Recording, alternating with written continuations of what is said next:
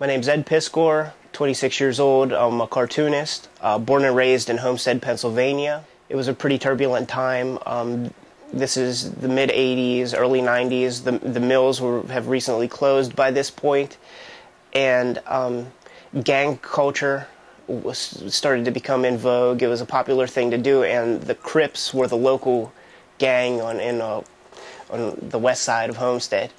I obviously didn't fit in with that culture whatsoever, and I just kept to myself. I stayed indoors. There were gunshots every night. I was continuously uh, just a scared little kid.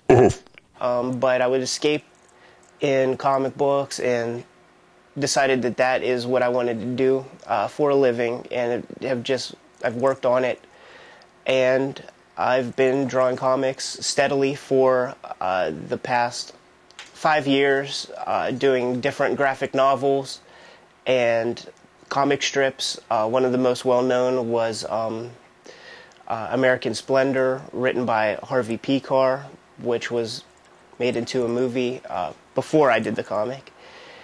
And uh, right now, I'm just having a good old time uh, self publishing my own books. Ow! This is Wizzywig Volume 1 Freak, the first self published comic that I produced.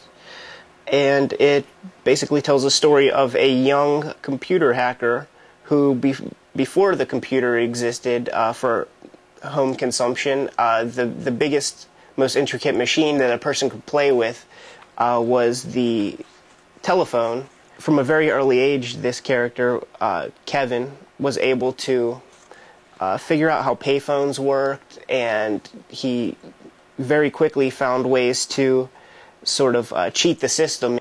And that carried on to uh, the computer age, which Volume 2 takes place. This, this book sort of encompasses the first, uh, the early days of the home computer, and it also deals largely with the infancy of the internet when it was opened up for commercial use. Each of these books has taken me almost a year a piece just because, you know, I'll get other work or um, some other paying jobs will come along and mm-hmm. I'll get those out of the way so I can get back to doing what I really want to do, which is this Wizzywig comic. Ow! Um, there are a lot of cartoonists doing some really great stuff. Uh, Robert Crumb is huge to me, um, and there are some other cartoonists like uh, this guy named Dan Clowes and Chris Ware, who are some of the best cartoonists working today, um, doing really intelligent, thoughtful uh, comics. I really like a lot of old uh, comic book, uh, comic strip reprints that they've been producing reprints of now. So Dick Tracy, um, what else? Popeye, Terry and the Pirates, Little Orphan Annie. Uh, a lot of this old stuff is really, really interesting, and I get a lot of inspiration from those old strips. Try not to make my comics seem like movies on paper, if that makes sense.